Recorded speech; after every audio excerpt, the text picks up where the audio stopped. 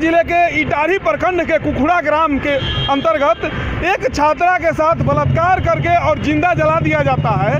ये हमारे देश कहाँ जा रहा है? अभी दो दिन पहले कैमूर जिला में एक छात्राओं के साथ नाबालिग छात्राओं के साथ इस तरह से छेड़खानी हुआ, बलात्कार हुआ, अभी मामला ठंडा ही नहीं हुआ, तब तक बक्सर में हो गया। हमारी सरकार क्या कर रही है? सरकार से अगर कुछ नहीं होगा तो वैसे अपराधियों को आम पब्लिक को छोड़ देना चाहिए, उसकी जनता स्वयं सजा देगी और नहीं तो सरकार को हाथ सिलेंडर बोल देना चाहिए। अगर सरकार नहीं संभल रहा है तो मैं राज्यपाल महोदय से हाथ जोड़कर विनती करता हूँ कि राष्ट्रपति महोदय से अनुमोदन करें कि बिहार में सरकार नहीं चल रही है। यहाँ पर जल्द से जल्द राष्ट्रपति शासन लागू किया जाए।